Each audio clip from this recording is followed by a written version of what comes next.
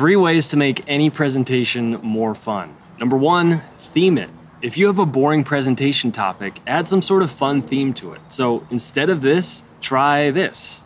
Or instead of this, try something like this. Or instead of this, try. Oh, hold on. Let's get that out of the way.